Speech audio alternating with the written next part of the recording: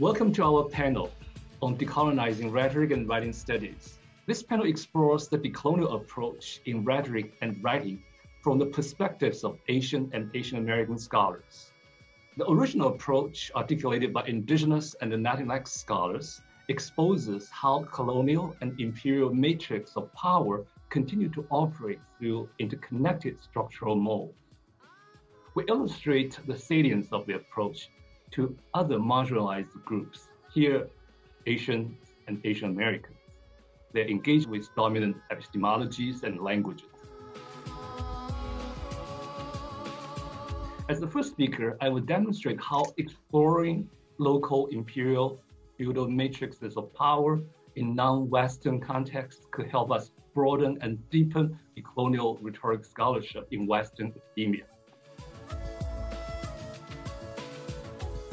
In the second segment, using findings from an empirical study of languaging practices among South Asian scholars, I will discuss the inadequacy of current translanguaging theory for disentangling ourselves from epistemic politics of global English.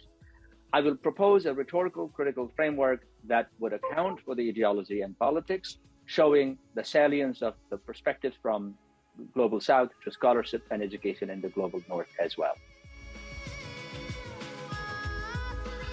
My talk will look at a transnational study of four social messaging platforms competing on Asia Pacific rim, and I will introduce a decolonial design rhetoric that promotes interconnectivity and see cultural differences as design resources.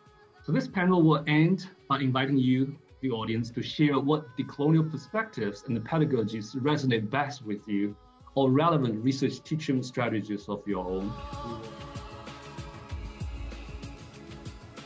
When it comes to decolonizing rhetoric and writing, scholars have engaged the notion of decolonial option.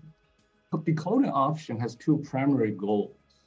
First, it seeks to expose how the colonial and imperial matrix of power operated in the past and continues to operate in a series of interconnected structural modes. Further, it works to liberate people from the mirage of, of modernity and the trap of coloniality by building a foundation of local knowledges and meaning-making practices. Drawing on my study of rhetoric in early imperial China, in this presentation, I will argue that the decolonial approach must expose and critique the imperial, colonial, and racial matrix of power within any rhetoric tradition the approach reveals how people in non-Western contexts have suffered and continue to suffer multiple injustices, not just caused by Western imperialism, but also by local hierarchies. I will demonstrate how exploring local imperial, feudal, and ethnic matrices in non-Western contexts could help to broaden and deepen decolonial rhetoric scholarship in the West. Rhetoric and decolonial scholars have focused on retrieving indigenous concepts such as the Chinese concept of yin and yang in building a pluriversal foundation of knowledge and meaning making. In her studies of the ancient Chinese text, Gui Guzi, for instance, Hui Wu recently recognized yin yang as the dominant philosophy of Gui Guzi's rhetoric theory. She took a step further by suggesting that it constitutes the philosophical foundation of Chinese rhetoric. The colonial scholar Walt Mignolo, in one of his recent books, for example, as well introduced Chinese concepts such as qi and yin yang as alternative to European conceptions of nature. However, as an epistemological construct, we have to know the concepts of yin and yang were mobilized along with other constructs established a metaphysical and a gender hierarchies in the Han Dynasty, that is between 207 BC and 200 CE, helping to establish an imperial matrix of power. So here specifically, the concept of, of yin-yang entered political discourse in the Han Dynasty importantly through Confucian scholars such as Dong Zhongshu. Drawing on Confucianism Huanglao philosophy and the Yin Yang school, Dong developed a theory of heaven to establish a metaphysical hierarchy in the human world. Dong invoked heaven as a mediator between the humans and Tao, Tao or the way of the universe, asserting that heaven, earth, and humans share the same origin, that is the Tao. In human society, the king is the son of heaven, supposedly representing and operating in the way. Therefore, Dong suggested that the Chinese character for king consists of three horizontal strokes, signifying heaven, humans, and the earth, with a vertical stroke signifying the king. On the one hand, the king needs to understand heaven's will by studying history and the natural world, and then enact this will in his government. On the other hand, if a king misunderstands heaven's will and governs his people ruthlessly, heaven will warm him with natural, with natural signs, punish him and his people with natural disasters, or even unseat him.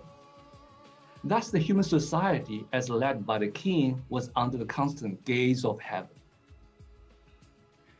To explain the intents of heaven, Dong Zhongshu mobilized the concepts of yin and yang in an essay written at the court examination in year 134 BCE. He explained heaven's moral values and his strategic use of power as manifested in nature. Through the dialectics, the dialectics of yin and yang, Dong underscored heaven's rationality or the cosmic norms. The way of heaven governs the change of seasons by observing how summer and winter alternate, as Dong suggested, one could understand the heaven's moral propensity and his preferred way of governing the world. That is, he places virtue or yang before punishment, yin, in order to nourish life. Heaven's intention account for the assertion that heaven loves, nurtures, and benefits all living things through a Confucian re reading of the natural signs, Dong ascribed heaven as a particular anthropomorphic quality, turning heaven into a Confucian god. In the Han Dynasty, the concept of yin yang was also used to control elite women. Immense efforts to control women, they made a double moves in correlative thinking to establish a gender hierarchy. First of all, they framed gender relations in the yin and yang theory. And second, they connected natural anomalies, disasters, and social wounds to the allegedly unruly conduct of women in the royal family. In discussing gender identities, they inherited a yin yang theory from Dong Zhongshu. According to Chinese studies scholar Robin Wu Wang, Dong remolded and impoverished the theory in two ways. First, well, earlier the theory had placed emphasis on the harmony of yin and yang as vital energies or attributes of matters in constant interaction. Dong place the yin and yang in an imposed unity, thus requiring an order of the two. Second, Dong inter interpreted human nature in terms of yin and yang by identifying yang with human nature and, and benevolence and yin with emotion and greed. This yin yang division helped to reconcile earlier debates concerning the good and bad aspects of human nature. However, the division also ended up serving as the justification for disparaging womanly character and the virtues and the need for male domination. This reformulated yin-yang theory would shadow and be fortified by court discourses dealing with gender relations starting from Emperor Cheng's government, that is, from, from 33 BCE to 7 BCE. The emperor and his scholar officials evoked yin and yang to criticize women for causing natural anomalies and the disasters. The instances of blaming women for natural anomalies and disasters were spurred were encouraged by two peculiar events. First, the solar eclipses occurred frequently during Emperor Cheng's government. Second, Emperor Cheng lost several heirs due to nat natural or human causes, an issue that deeply concerned the royal family. These rather unusual events prompted court officials to speculate what they insinuated. Some court officials attributed the natural anomalies to the unruly conduct of the court ladies. This line of reasoning was adopted by the emperor in one of his edicts, criticizing the empress for her extravagant spending. The beginning of the edict, the edict reads, the yin overpowered the yang, causing solar eclipses. Is this not a sign that the inferior has offended the superior? The wife bullied the husband, or a base person superseded a noble person? So in the opening of the edict, the emperor made two rhetorical moves. He framed gender relations in yin and yang and inferred that solar eclipses were caused by the unruly conduct ladies. To conclude, this presentation has considered how the concept of yin and yang was used to establish metaphysical and gender hierarchies in early imperial China. In exploring Chinese epistemologies, this presentation has revealed at the same time the limits of such an effort for decoloniality. Decoloniality means delinking from European modernist epistemology and relinking with historically marginalized or border epistemologies. By studying how rhetoric, genres, and scholarly officials help establish and maintain the imperial matrix of power in the Han Dynasty, this presentation reveals not only the knowledges, but also the epistemological mechanisms of early Chinese empire.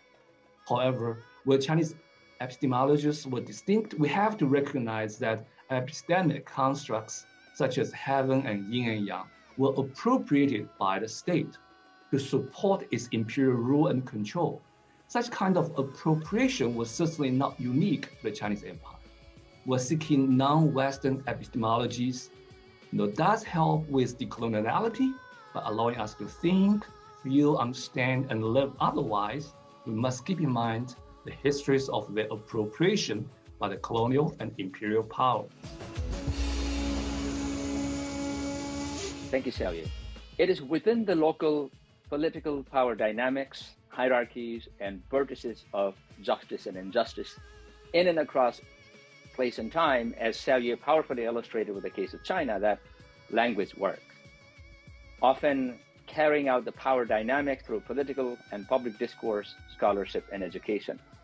So let me take you to the other side of Asia, the southern region, and bring you into the present, where similar local power dynamic intersect with the legacies of British colonization, as well as local dynamics of power and injustice, and shapes today's socio-linguistic landscape.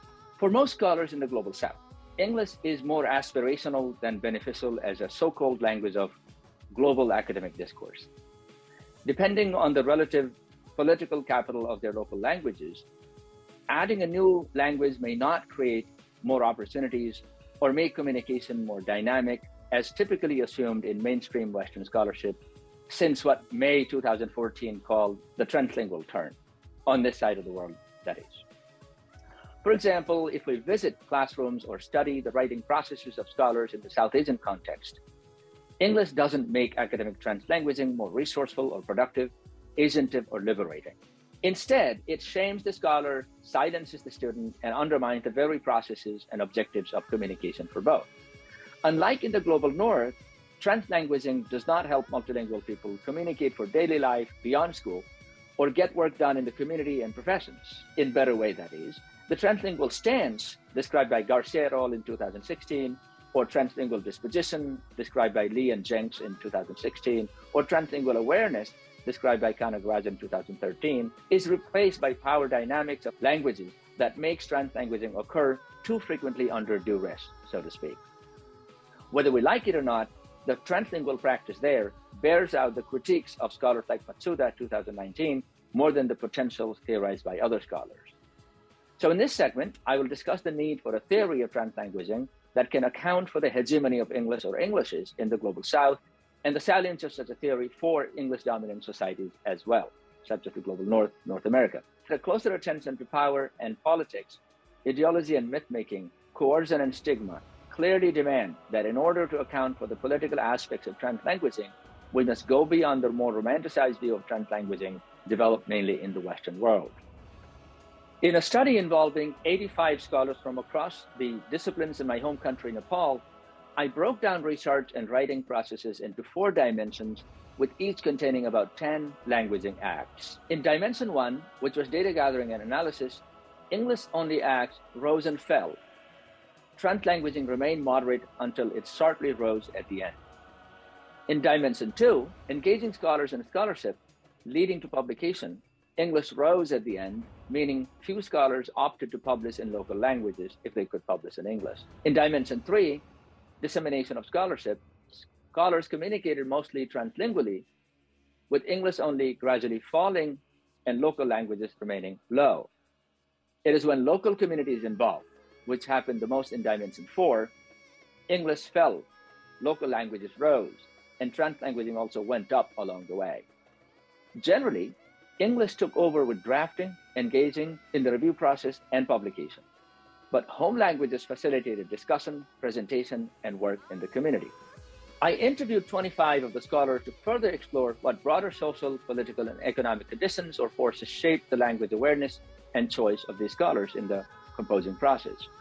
The first theme that emerged from analysis of interview data was language awareness. Almost every participant in the interview said that they had been surprised as to how often they checked the use of their home language when they did the survey.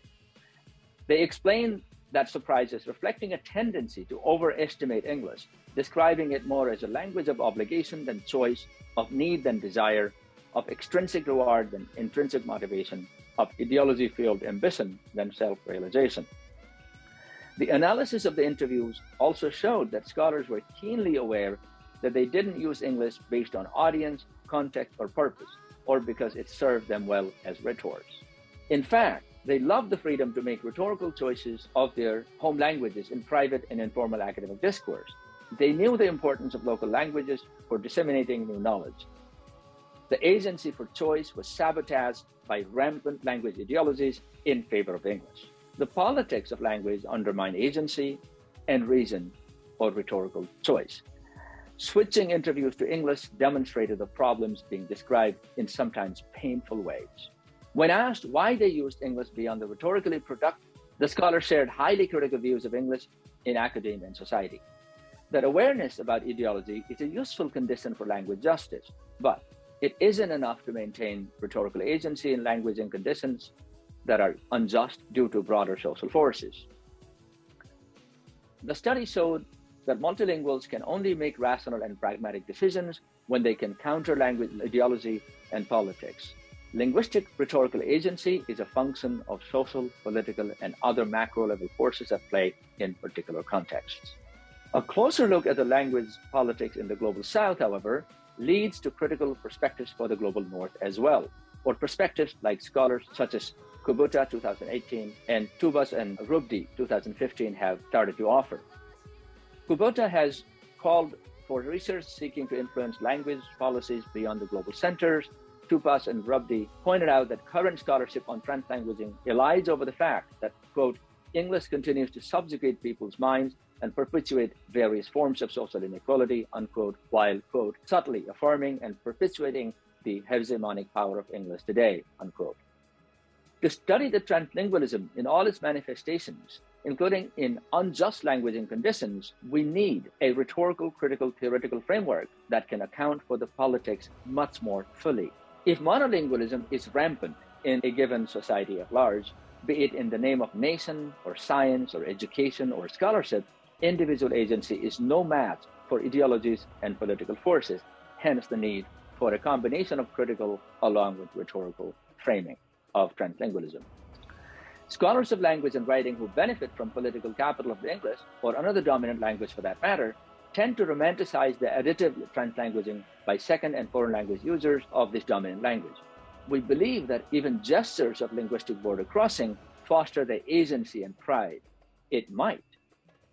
But the translanguaging is done in infinite types of circumstances, from the free and agentive to the coercive.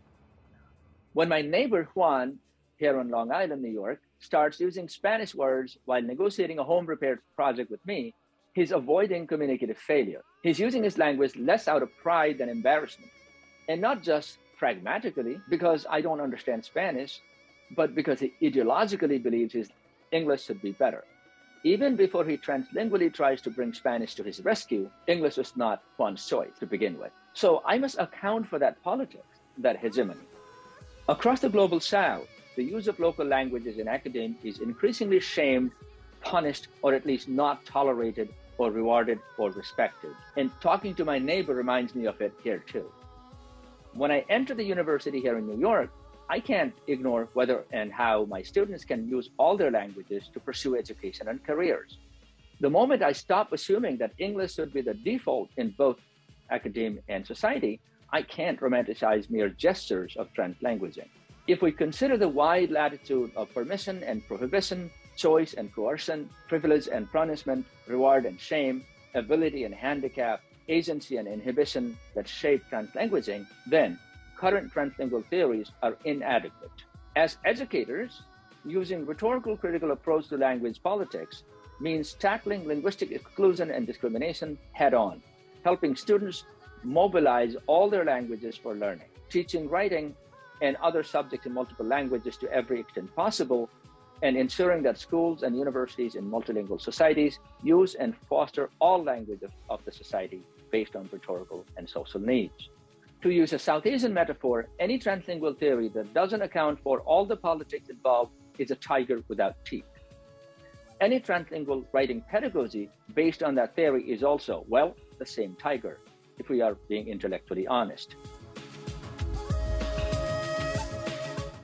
After two thought-provoking speech, I will examine colonial power and global hegemonies from the angle of transnational cooperation and the cohesive global telecommunication network. I'll start with the concept of interconnectedness, particularly after the two talk, um, you know, in local context. I introduce this concept and discuss it in my book on global social media design. I serialize interconnectedness in three ways. First, it's a defining feature of globalization to assess the effectiveness, spectrum, and tenacity of globalization Second, it's a methodology to trace global mobility that connects local context to global processes. I think that's what we have seen from the two studies. Third, it is a cultural logic that manifests the dynamic process of forming of cultural differences and thus show that differences are socially and historically constructed. This is a picture taken in my campus two years ago in Tacoma, Washington in June 2019. TikTok staff um, set up a tent in our campus during the final of the week to promote their TikTok uh, social media platform. Remember, that was June 2019, eight months before the pandemic started. Not many people were using TikTok, and a few American social media companies would do this kind of in person campaign for growth hacking. Most American companies just do online growth hacking. This is an example of how interconnectedness works in global design. In this case, we can see it is a defining feature of globalization as the Chinese social media company entered the American market to reach its target audience. It demonstrates how global mobility formed in this case in terms of research methodology. Last and more important, it manifests and traces the dynamic process of the forming of cultural differences. For more details, please check out the online article by scanning the QR code for the growth development strategies of Chinese uh, high-tech companies.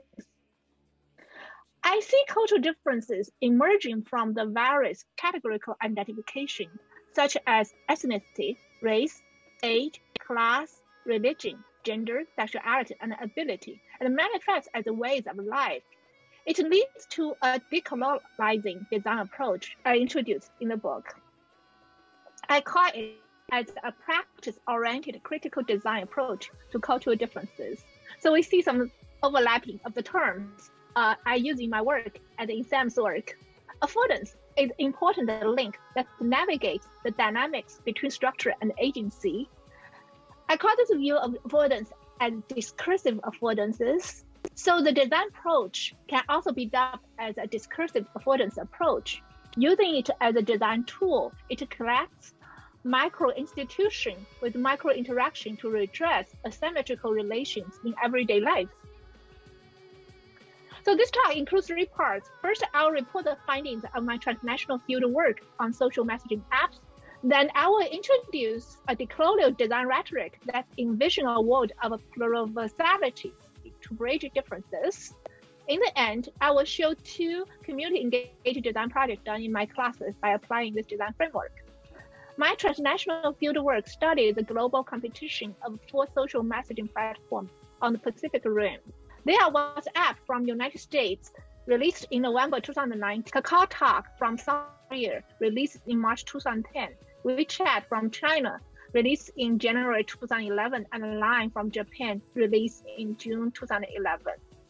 They have led the development of social network service globally since then.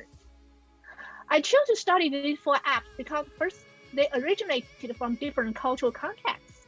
They represent culturally distinctive design features in contrast with other apps available at that time. They were the most popular social messaging apps in their home countries at the time the study began. And they were leading the global competition with ad campaigns and media coverage while others were only found in the app stores. And they are located in the Pacific Northwest region, where I have access to conduct qualitative field work. I conducted multi-sited international field work in Japan, South Korea, China, United States, Germany between 2014 and 2017. My goal was to uncover new relations and interaction surrounding global mobilities I want my research to answer this question. How should we design and innovate a technology that is usable, meaningful, and empowering for local users at this age of globalization? Next, I'm unpacking the discursive affordances approach. I see affordances as action possibilities to explore the opportunities and constraints of technology design Instrumental affordances make a technological artifact usable. Social affordances deal with the cultural meaning aspect of technology. So let's see examples. Instrumental affordances address what activity it affords us to do. So what app affords users to do individual chat, group chat, and share location information, and etc. Social affordances address the meaning aspect. It helps a technology to relate to its users in their cultural context so Line from Japan designed its messaging practice based on Japanese users' fascination with cartoon and anime. The company released virtual stickers and emoticon to help users convey sophisticated and subtle feelings and em emotions uh, in a digital age. So here we see a awful rabbit, like Carconi, and a very serious bear that's brown. On the aspect of discursive relations, Line introduced new ways of communicating on mobile that go beyond typing something and hitting send. It sustained local cultural practices and also enact new cultural practice globally. So here we see actually now we can just use virtual stickers to start uh, the, the whole conversation. I, I said that this started new cultural practice globally. So the screenshots actually come from Kakao not from Line. That illustrates uh, interconnectedness when a successful design features uh, is widely accepted by users, it will be adopted by the other competitors. But in this particular case, we also want to think about the power distribution. So how is the power distributing within the network? Which group of users are privileged and which group of users are ignored, marginalized, or even oppressed. Line success suggests a new way of engaging cultural differences in global design. Cultural differences are not a design problem to cope with, but a possibility for togetherness in difference and a rich resource leading toward design and innovation. Um, so let's look at the ideologies behind differences the notion of differences itself suggests a binary framing that prefers similarities or sameness over differences. This view sees difference as a communication deficit. It promotes a Western ideology. It also forces the group of the dominated to adapt it to the norms of the dominating ones. A process is called as assimilation. To decolonize this design rhetoric, let's look at three sets of questions concerning cultural differences or differences. First, how does difference come into being? According to a classic textbook, there are two views concerning the emergence of differences. First is the essentialist perspective, which see differences are essential, the same across time and place, unchangeable. Second view is constructionist view. It see differences are historically and socially constructed, and it also show us some difference are valued more than other differences. The second question asks, what's the ontological nature of differences? There are also two camps for this question. The categorical view typifies differences into pre-cut categories, while the interactional view treats differences as emerging in the interaction. A categorical vision of differences often implies a asymmetrical categorical frame made up with fixed types of interpretation. In the field of intercultural communication, Hofstede's cultural dimension model has been very popular. It presents a essentialist view of differences and promotes a universal worldview by ignoring dynamic structuring process globally. Hofstede defined culture as the collective programming of the mind. It should be pointed out that his cultural dimension was developed primarily from the survey results of IBM employees across 72 countries in the 1970s. As we can see, most of his survey participants were middle-class white male at that time. The third question concerns the methodological treatment of the differences. Rather than treating difference as deficits, my approach asks to embrace cultural differences. Such a stand signals a significant design shift from cultural diversity to epistemic diversity. Methodologically, it celebrates cultural difference against the single world ideology out of the Euro-American historical experiences. So a decolonial design rhetoric based on this view of differences envisions a world of plurality as Xiaoye and Shyam showed in their talks. So the Line case shows how cultural differences worked as design resources for technological innovations. To turn differences into design resources, this is a design matrix to tackle a range of practices, from designing with differences across differences to designing for differences. This shows that cultural differences and diversity are no longer a design problem to cope with, but a possibility for togetherness in differences and a rich resource leading towards design and innovation. I'm going to wrap up today's talk with student project. Due to time limit, I will only show two student projects here. The first case is a variety of website prototypes we made for local community coalition three years ago. The coalition is a clearinghouse for sharing and networking at the foot of Big Mountain. One day, the mayor ran into the coalition chair at a local meeting. She said, Your group has been doing great work for the community, but I cannot find your presence online. Why not having a website? Our colleague connected my class with them. Throughout the quarter, four student teams worked to design prototype websites for the community partner. Students attended coalition meetings asking questions to identify client needs and design goals. This picture is our design demo at the board meeting, and this is the mayor. So students were excited to see the mayor at the end as they presented their work. The second project is a prototype made in my class of last winter quarter. The Hispanic student was concerned about increasing hate crime as she conducted fieldwork observation in a local grocery store and came up with this design idea.